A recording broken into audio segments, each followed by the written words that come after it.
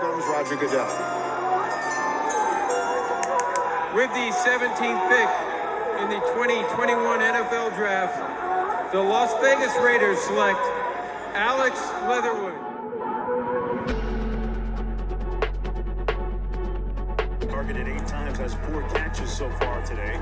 There it is on the receiver screen. Well dissected that time in the secondary.